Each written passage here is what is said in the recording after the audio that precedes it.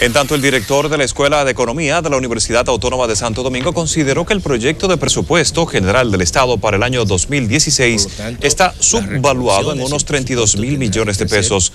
Antonio Siriaco Cruz sostuvo que en la elaboración de esta pieza, el Consejo de Ministros no contempló el crecimiento económico proyectado para el 2016.